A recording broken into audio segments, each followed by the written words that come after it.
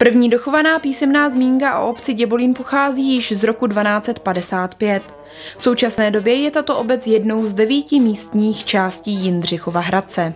Eh, má přibližně 230 obyvatel. Eh, co se týká místních spolků, máme tady velmi aktivní eh, spolek občanské združení přátel keramické dílny Romany Hlíkové. Obec Děbolín je teď na takovým jaksi největším rozkvětu.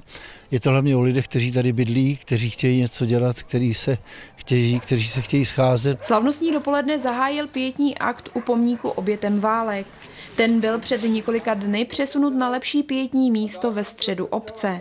Následovalo zasazení pamětní lípy a také oficiální otevření nových chodníků uprostřed Děbolína. Je tady rozšířená síť chodníků, včetně e, zastávek e, autobusových, které byly z e, klasického rozpočtu města Jindřichů Hradec realizovány. My jsme ten chodník prodloužili i směrem na Radmírov, kde je už kategorie nižší třídy ta silnice, a takže ti lidé budou moci pokud budou to dodržovat lépe a bezpečněji přecházet a hlavně jsme to dělali kvůli dětem. Chodníky městskou kasu stály milion sto tisíc korun.